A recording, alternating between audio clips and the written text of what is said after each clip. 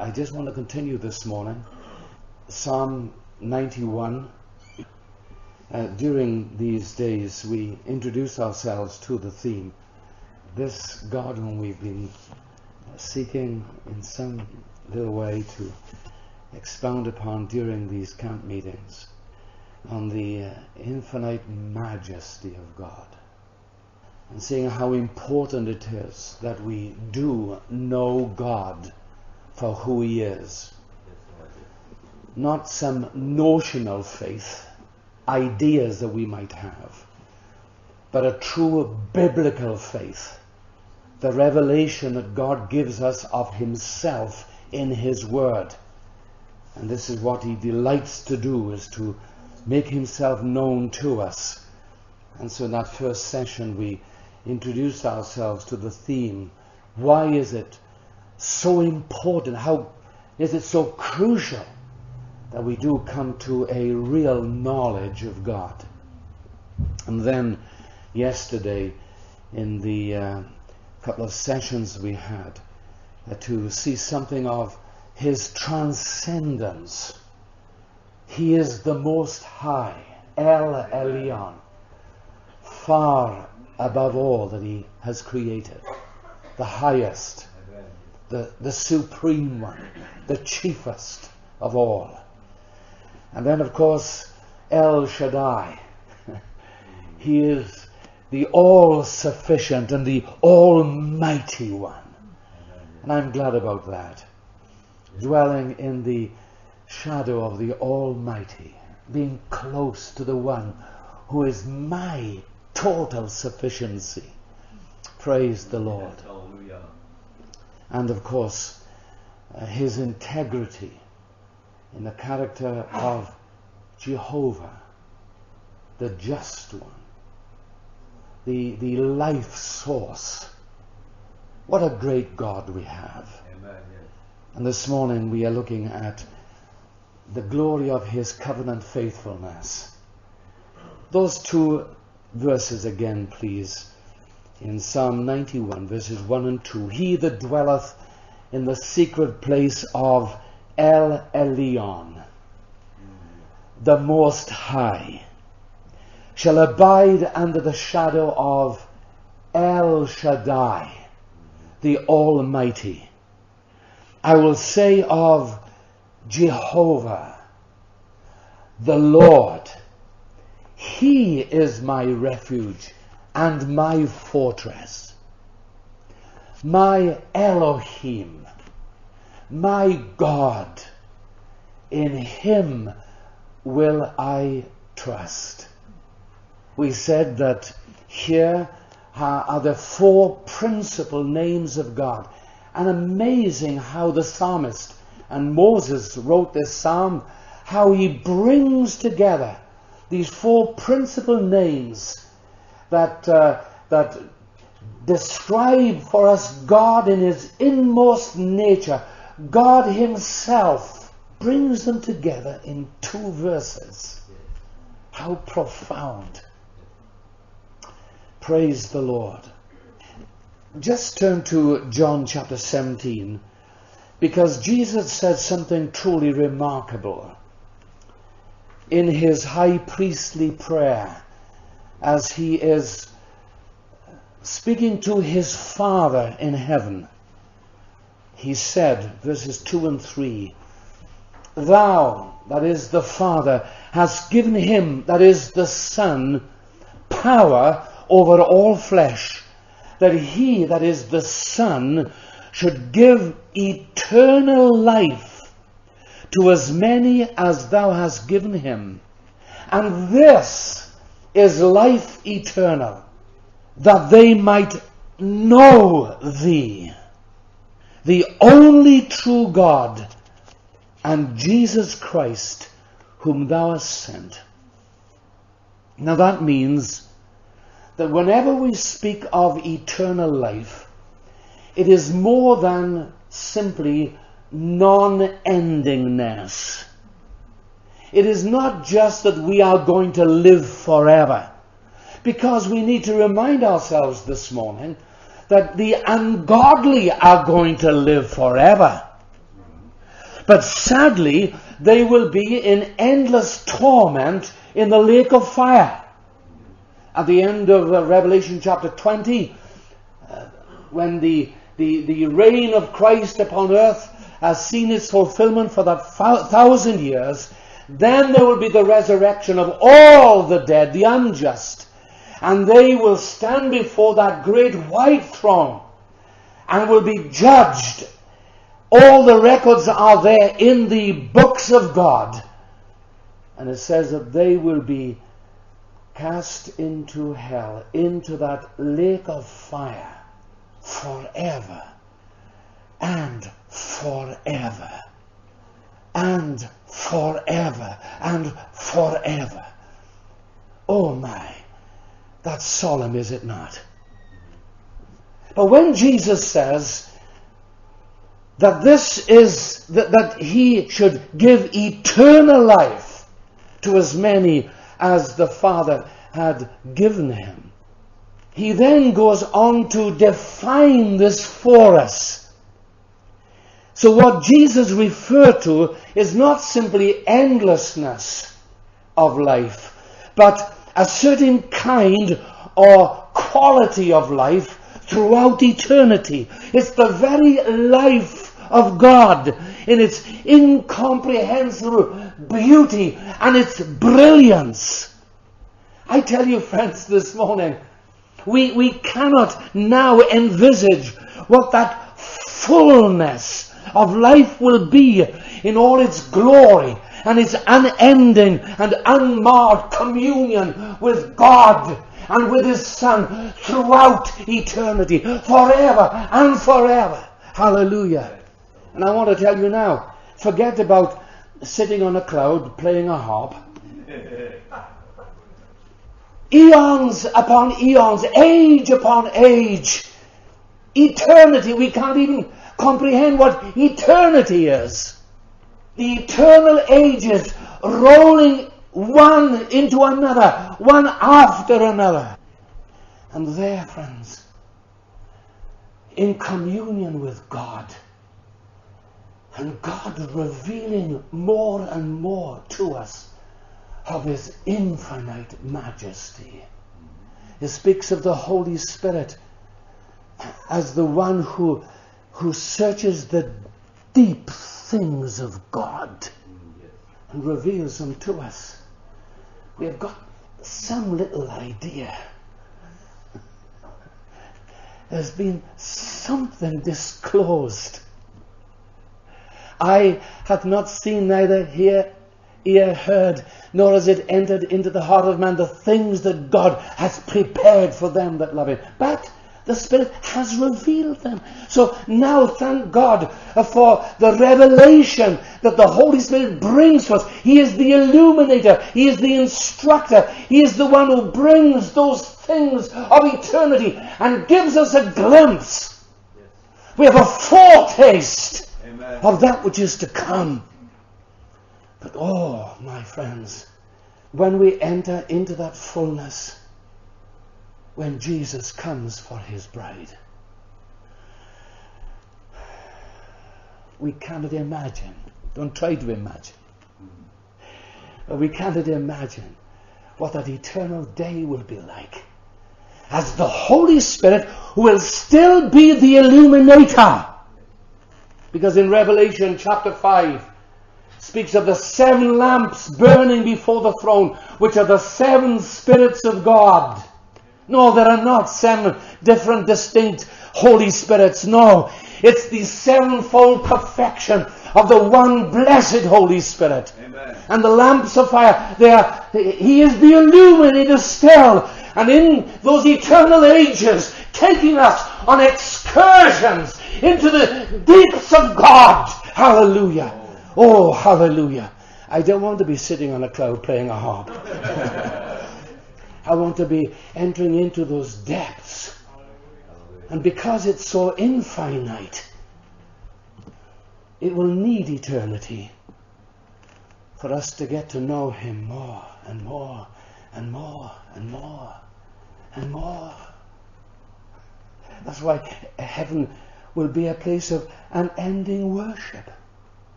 coming to know His worth. Unless you come to appreciate His worth, you cannot, you cannot worship Him. What a day that is going to be when we enter upon the eternal purpose which He purposed in Christ Jesus. Hallelujah. But note again what Jesus said. This is life eternal. That they, that is, all those who are Christ's by faith, that they might know thee. This is what our Christian life is all about. It's knowing God. He who is revealed to us in the scriptures. That revelation is foundational to knowing Him in truest relationship. Knowing God. And there's nothing, friends, in all the world to compare with this. And that which is crucial to that relationship that we have with Him. You know, there are many professing Christians who never seek after God. They do not possess any real hunger for God, to know Him. They don't thirst for God. They are of the worldly wise Esau spirit. They only want that which gratifies the flesh and not that which feeds the spirit and the soul. They want that which is of earth and that which is so quickly passing rather than the things of God and that which will never pass away. As that very fine preacher Sinclair Ferguson so challengingly put it, he says, We have sold our Christian birthright for a mess of pottage, and our true Christian experience will be superficial, inadequate, and tragically out of focus. Oh, God save us from that. You see, talking about Esau, there was a time in Esau's life later when he begged his father to have a change of mind and grant him the blessing of the firstborn. But it was too late. It was too late. He had shown so little desire for, for spiritual things.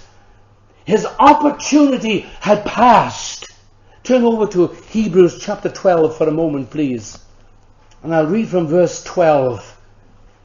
Wherefore lift up the hands which hang down and the feeble knees, and make straight paths for your feet, lest that which is lame be turned out of the way, but let it rather be healed. Let me pause there a moment. In this context, we read of God's chastenings and how they are designed to bring us into His way the way of God, which is the way of holiness. It's the way of moral and spiritual wholeness wherein we know Him. Because, friends, we cannot know Him in a state of unholiness. That's right. That's where David has it right when in Psalm 24 and verse 3 to verse 5 he says, Who shall ascend into the hill of the Lord, or who shall stand in his holy place? He who has clean hands and a pure heart, who has not lifted up his soul into vanity, nor sworn deceitfully. He shall receive the blessing from the Lord. Here's Esau. We'll come to it in a moment. It says, follow, verse 14 now, follow peace with all men and holiness, without which no man shall see the Lord. Now, friends, that's not just in an ultimate day. If you want to know God, if you want to see Him as, you know, for who He is, you must be holy. You must be clean. You must be walking with no known sin in your life. Thank God for the blood of Jesus Christ that cleanseth us from all sin. Praise the Lord. keep short accounts, friends, and day by day as you're coming to Him, you know, let the searchlight of His omniscience go into your heart to illumine anything that may be displeasing. Remember what David said in Psalm 139? Oh, he'd been talking about the wicked. He said, Oh, I hate the wicked. And, oh, God, this is what you should do with them. And then suddenly he says, Search me, O God, and know my heart, and see if there be any wicked way in me, and lead me in the way everlasting. See, this is what the writer to the Hebrews is talking about. Make straight paths for your feet. Be in that way of the Lord, the way of holiness. He says diligently, verse 15, diligent, looking diligently lest any man fall or fail of the grace of God, lest any root of bitterness springing up trouble you, and thereby many be defiled. You see, you and I don't live to ourselves. We're constantly affecting others, either for good or for evil. This, this is so solemn and challenging. And then he says, verse 16, lest there be any fornicator or profane person like Esau, who for one morsel of meat sold his birthright. For you know how that afterward, when he would have inherited the blessing, he was rejected. Now notice this please. For he found no place of repentance though he sought it carefully with tears. No, it was not he was seeking uh, repentance out from his own heart. He was wanting his father to change his mind, but his father did not repent. How sad. How sad. Notice how Esau is described here. Lest any fornicator or profane person.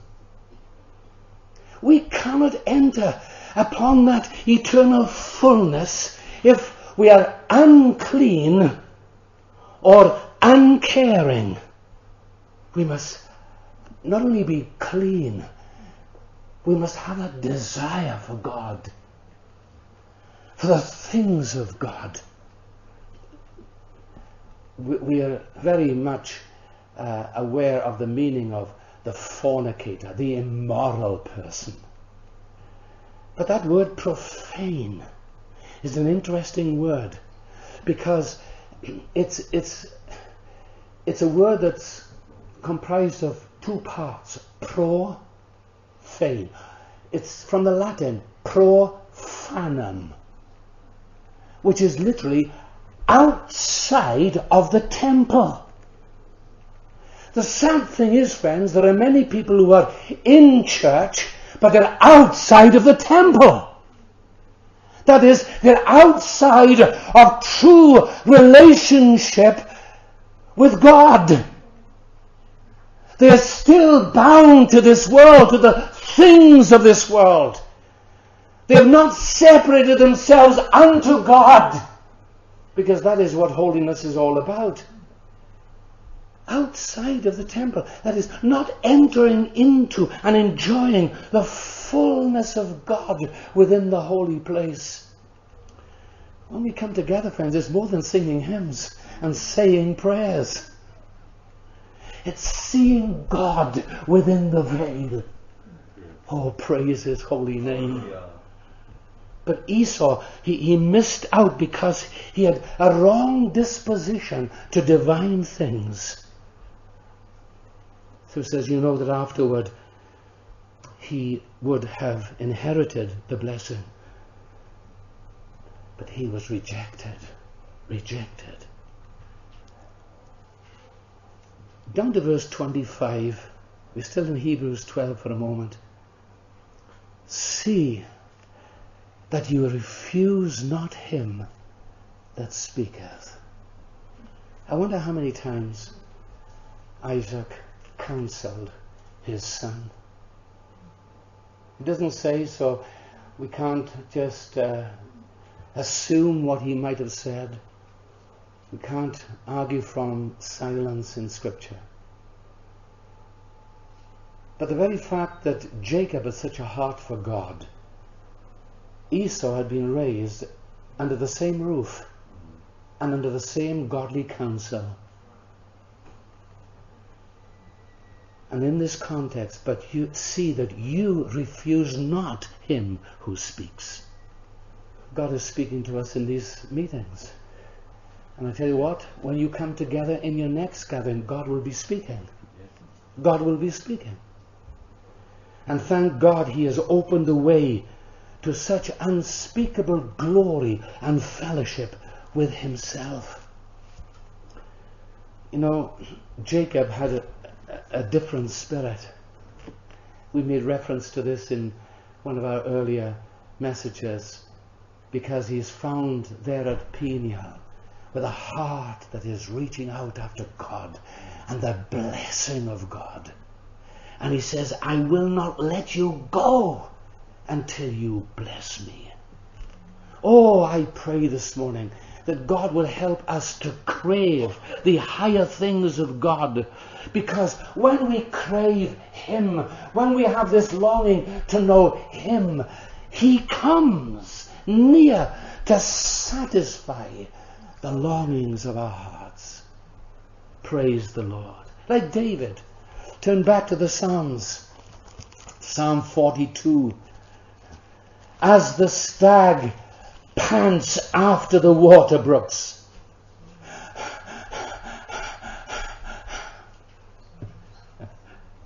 Have you seen that stag on those craggy slopes? And he's coming down. He's looking for the little waterway. He is thirsty. And you see him heaving. He's panting. And David says, just like the stag, I'm panting after God. So panteth my soul after thee, O God. My soul thirsts for God, for the living God. Oh, when shall I come and appear before God? Go over to chapter 63, Psalm 63 and the opening verses of that psalm. Oh God, thou art my God. Early will I seek thee. Lovely to see those young people in our fellowship this morning. Nice to see families breaking bread together. You young people, early will I seek thee. I don't care how young you are, you can know God. Amen, yes. And as teenagers who are there this morning. Let's reach out after God. I'll never regret in my early teens putting myself aside in the little room in my home and to seek God. He put something within me in those days for himself. I felt the tug of God upon my heart. And soon felt not only the tug, but heard the voice calling me that I might serve him. I've never gone back on that. Never had a, a, a lusting after the things of this world. God has been my sole sufficiency. He has satisfied me fully. Like this hymnist has it, less than thyself, or do not give. In might thyself within us live. Come, all thou hast and art. I only want God, friends. Yes. This is David. O God, thou art my God, early will I seek thee. My soul thirsteth for thee. My flesh longs for thee in the dry and thirsty land where no water is, to see thy power and thy glory, so as I have seen thee in the sanctuary. Praise the Lord. Knowing God. Because only God can satisfy us. He made us for himself, friends. May he not be disappointed. but find us not only cleansed in the precious blood of Jesus, which we have rejoiced in at the table this morning, oh, but with a heart that reaches out. We want to know Him. We want to be like Him. Here in Psalm 91, it's this God, the Most High, the Almighty, the, the, the holy and just Jehovah, who is our refuge and our fortress. And now, friends, this fourth and, and, and, and final consideration of ours in these two verses. I will say of the Lord, He is my strength and my fortress, my God, my Elohim. In Him will I trust. You might recall me mentioning that this actually is the first name in Scripture, the first name for God in Scripture. In the beginning, God, Elohim, created. And I, I don't want to digress here, but it's interesting that the, the name Elohim is a plural form of Eloah. And right in the first verse of Scripture, we have intimation of the triunity of God. Right in the first verse. It's probably the deity, that is the supreme God. And, and that word Elohim, it's, it's formed from a Hebrew word meaning to swear, as with an, with an oath, as well as meaning to worship and to adore. Turn to Deuteronomy chapter 32 and verses 15 to 17, where we read, But Jeshurun, speaking of Israel that is, but Jeshurun, Israel, grew fat and kicked you have grown fat. You have grown thick. and tell us what it all means in a moment.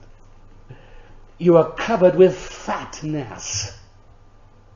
Then he forsook Elohim, which made him, and lightly esteemed the rock of his salvation.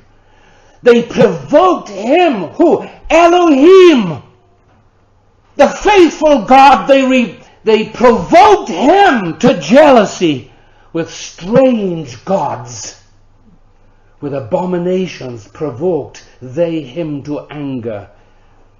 They sacrificed unto devils, not to Elohim, to gods whom they knew not to gods that became, that came newly up, whom your fathers feared not. That is, they had no respect for, no reverence for. The pagan gods. So here we have, friends, in Elohim, the one supreme uh, as an object of our worship. He is the supreme one. He is the sovereign one. He is the God who is God. And, and, as I've intimated, uh, seeing it as plural, it, it is well for us to see within that the glimmer of the triunity of God. Turn over to Psalm 110 and verse 4. Because it says that the Lord hath sworn and will not repent and speaking of Christ, thou art a priest forever after the order of Melchizedek. So there we have an instance of an oath being affirmed within God Himself. So this name Elohim, it represents God in a covenant relationship or union confirmed by an oath. Elohim is a covenant keeping God. What a revelation is here of one whose fullness meets our every need, whose sovereignty covers our every plight, whose very name and nature is the pledge of our deliverance and our security. We can trust him. And that is exactly what uh, the psalmist says my God, my Elohim, in Him will I trust. I can have full confidence in this God because He will never, never, never go back upon His word. He will never break His promise. He will never violate His covenant. He is true. He is faithful. Hallelujah. Now, when you consider it being the name associated with creation, working out His will, bringing what was dark and ruined to, to perfect order and, and wonder. We know that in our own experiences, when all seems dark and, and lost and confused, it's our God, Elohim, who brings in light and life, and He causes us to be made anew. Just as in Genesis 1, the Spirit of God moved upon the face of the deep. All that life and all that order that God brought forth. It was Elohim. He's faithful. He's true. He never abandons those friends who, with whom he enjoys this covenant relationship. Why, the past history of Israel has known it in such an astonishing manner. And we know that they will yet know this with mourning in, in coming days. They're going to call upon Elohim. As I've already intimated in these meetings, the Middle Eastern stage is being set not by men, not by the United Nations, not by the coalition or the European Union, not by Russia or Iran or Hamas, but Elohim. Elohim. There are unconditional promises that God has made with, with Israel. He will never, never, never violate them. And so there is going to be the, the, the, the fullness appearing soon. The final act in the drama of both human and redemptive history. Because we have a faithful God. We have a covenant keeping God. What a glorious, encouraging truth this is that Elohim uh, uh, ensures the absolute realization of what he has decreed from eternity. You know, God doesn't make up his mind as he goes along. Now, what can I do today? I've got a good idea, says God. I, I think I'll do this. No, that's not God. That's man. You know, God never learns. He knows everything, past, present, and future. He comprehends the sum total of all facts spontaneously, immediately. And you think that you can counsel God? You think you can you, you can tell him what he ought to be doing? When you question, say, why God, you are saying, listen, I, I could think of a better way of doing it. Uh-uh, you can't. He is infinitely wise and understanding. And he has decreed that which will take place. And it will be realized. Not one word, said Solomon, not one word can fall to the ground in unfulfillment. Not one word that he has spoken. This is Elohim. He never has to revise his eternal plan. He doesn't say, oh, now that's come unstuck. The devil has thwarted me a bit. I'll, I'll have to, you know, plan B. My, my son, Philip, he was just a, a lad. He's serving God now, pastoral work in America. But, you know, he was just a lad and I was at the college and uh, just for the sake of order and you know system, anybody who came to see me first of all went to see my secretary and said, "Is it is Brother Morgan free that I may be able to speak with him?" But not my son. he never went into my secretary. He came up in the door, opened it. Dad. I wasn't his principal. No, I was his dad. right. So he'd come in. And one day he came in and it's something he wanted. And uh, I said, no.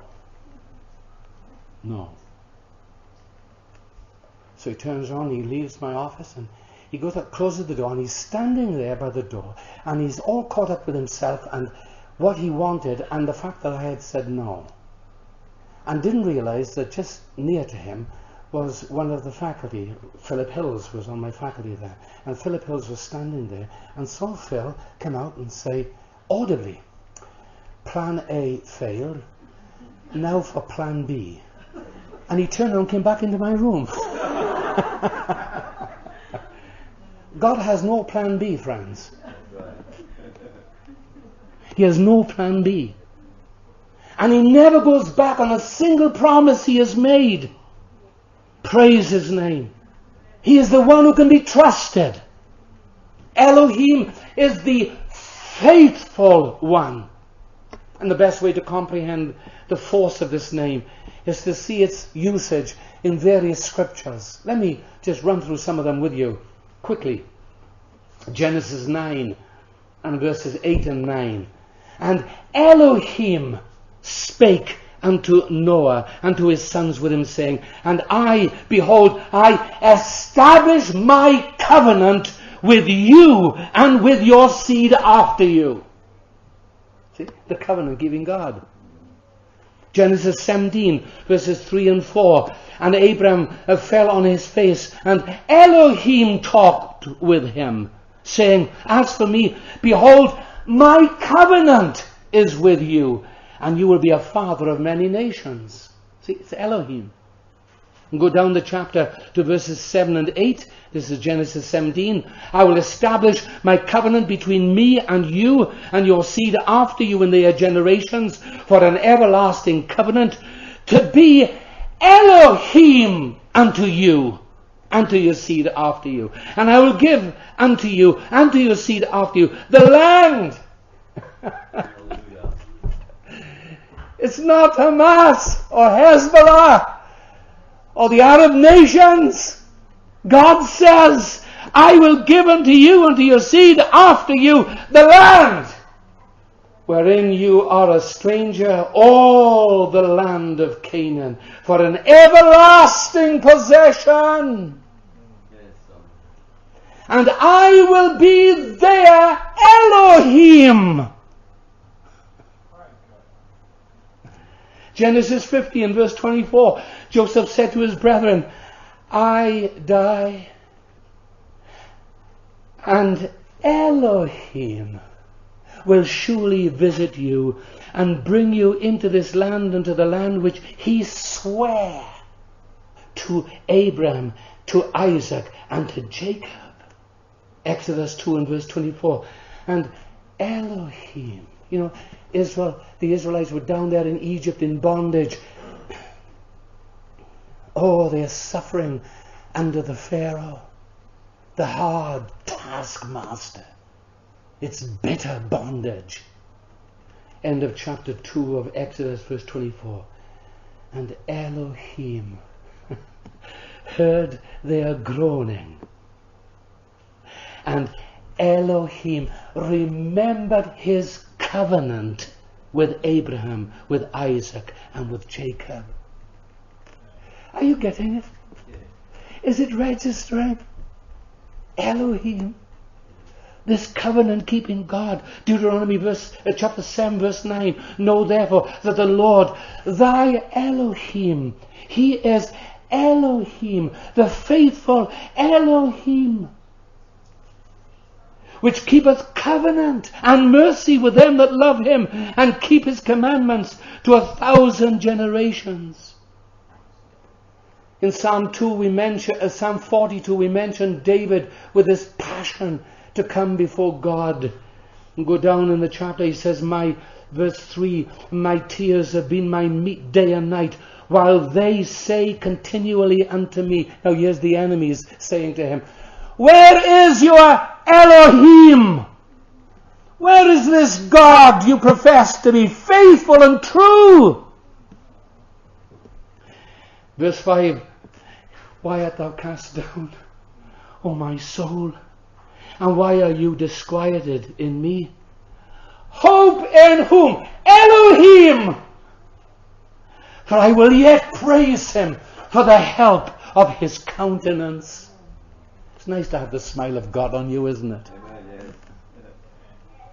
Down to verse 11. Why are you cast down, O my soul? And why are you disquieted within me? Hope thou in Elohim, for I shall yet praise him, who is the health of my countenance and my Elohim. My faithful covenant keeping God, a God whom I can trust. Isaiah, and make this the last scripture. There are many, many scriptures we could look at. Isaiah 45, verses 22 and 23. Look unto me and be ye saved, says the Lord, all the ends of the earth, for I am Elohim. And there is none else. Listen, I have sworn by myself. The word is gone out of my mouth in righteousness. We're back at the first prayer meeting of this uh, time together. The Lord, our righteousness. The word is gone out of my mouth in righteousness and shall not return, that unto me every knee shall bow, every tongue shall swear. How marvelous, friends, the truth of the loving covenant faithfulness of God. Are you trusting Him today? Yes. Be sure of this. I, I, I don't know what you're going through. And there may be folk in the fellowship that you are seeing week by week, and yet you have still locked up in your heart things that you, you don't want to disclose. It's like that sometimes. You keep it to yourself. Yes, you love your brethren, you know they pray for you, but somehow you lock it up there. No one knows what you are going through. Oh, yes, one knows. Exactly. Elohim. And he'll be faithful. He'll be faithful to you. He'll never let you down. He always keeps his word of promise. He says, I'll never leave you nor forsake you. So that with all confidence we might say, The Lord is my helper. Praise the Lord. Praise the Lord. Amen. Hallelujah. Oh, I wish I had time to to see so much more here. But can I just bring things to a conclusion this morning? This revelation also has its very practical challenge to us. Because the Lord expects you and me to emulate His faithfulness. You know, one of the most incredible scriptures that uh, concerns us as believers. In Peter, Peter says that we have, bec- we have been made partakers of the divine nature by the promises, the precious promises of the gospel. We have become partakers of the divine nature. Hello. Yes. So when you think of God as a faithful God, then He expects faithfulness with us. We must be people of our word, people worthy of trust. We must be faithful to God. We must be faithful in our family relationships. We must be faithful, faithful in our daily duties toward our employers, even though they may be unjust and ungodly. You must still be faithful.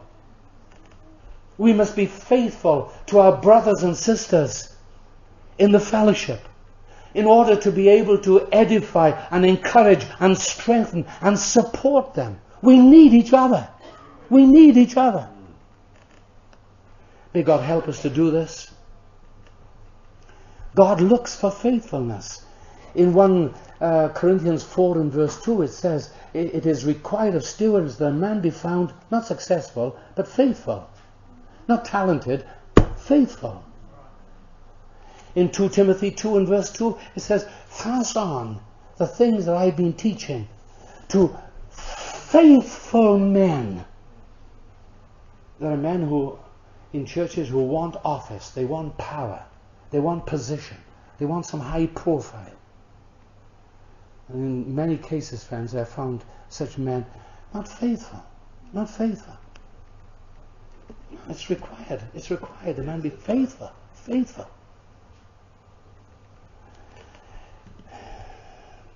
Now, come back to those words of Jesus in John 17, where he affirms to the Father, I have manifested thy name unto the men which thou gavest me out of the world.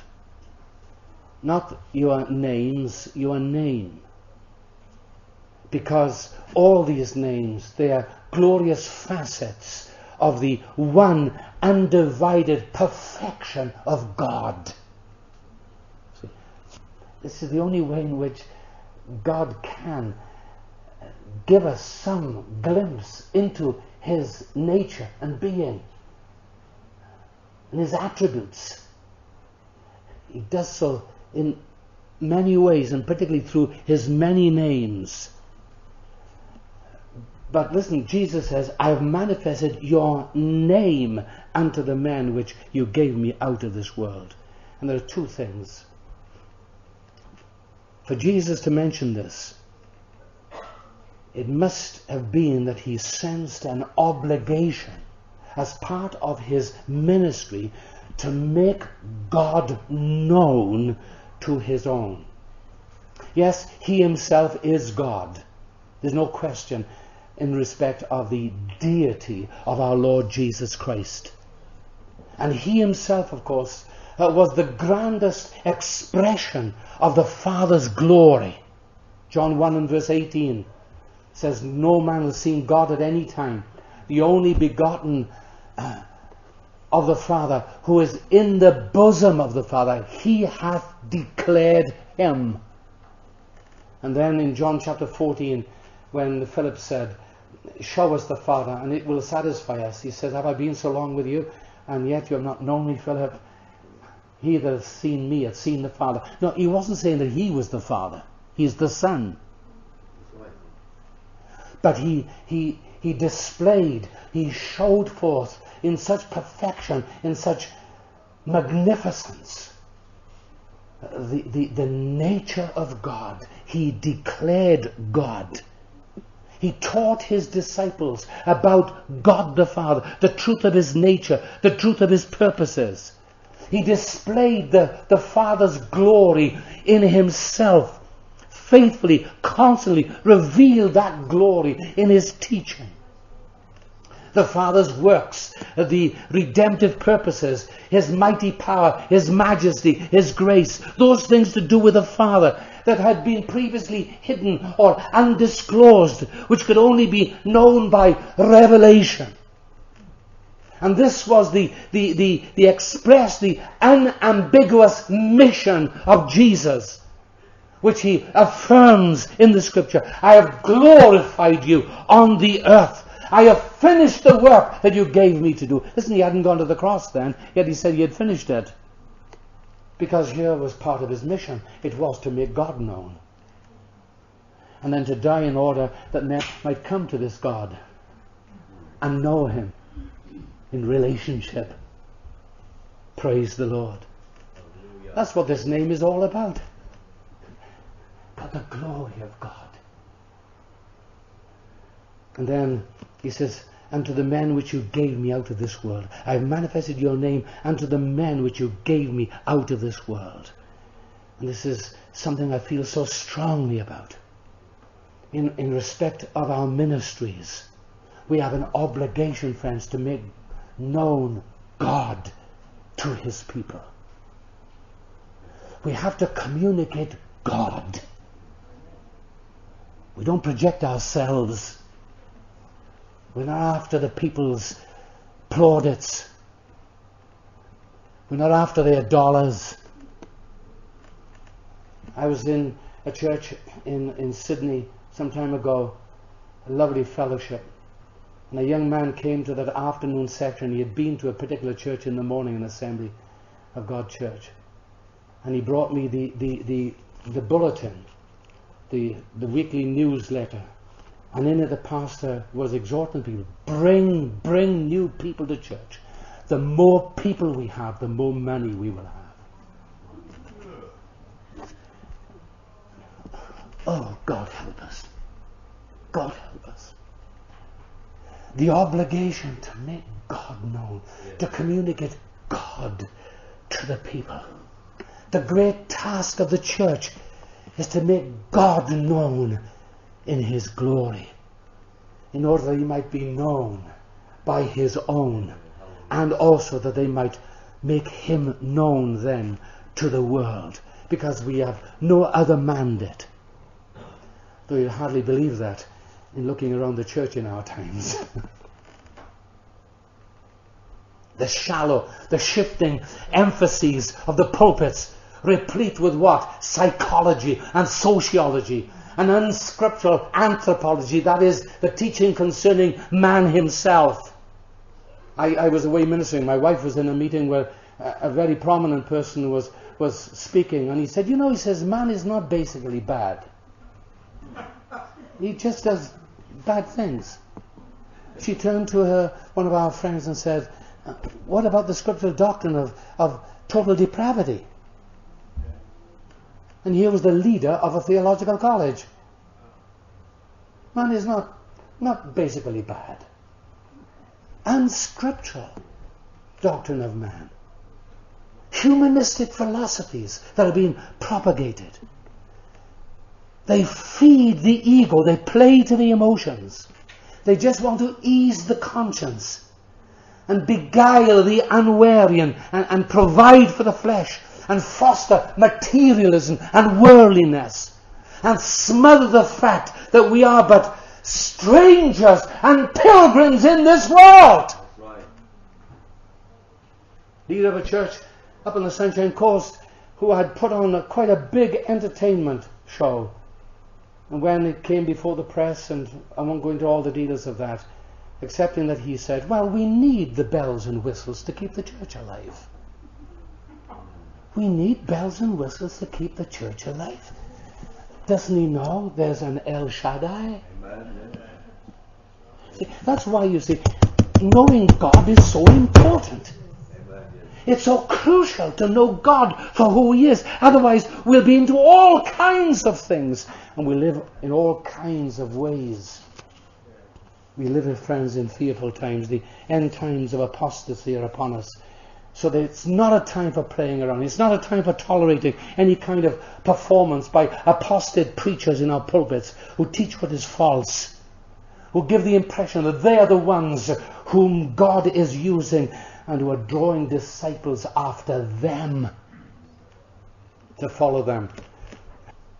And so in our day, friends, we need to be more disciplined and more discerning and more determined that we are going to obey God rather than man.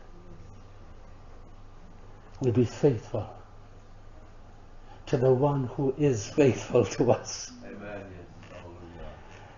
If God be for us, then let hell do what it may. Oh, the Most High, El Elyon, the all sufficient and, and almighty El Shaddai, the just, the true, and the holy, the righteous Jehovah, and the wonderful covenant keeping Elohim. I want to know him. My prayer for you is Paul's prayer for the Colossians.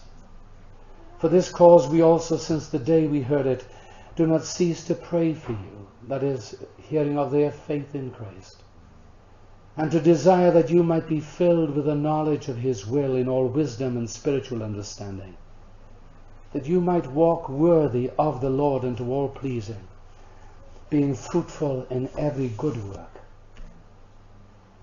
and increasing in the knowledge of God. Hear our prayer and glorify your name, O Lord. Amen. hallelujah.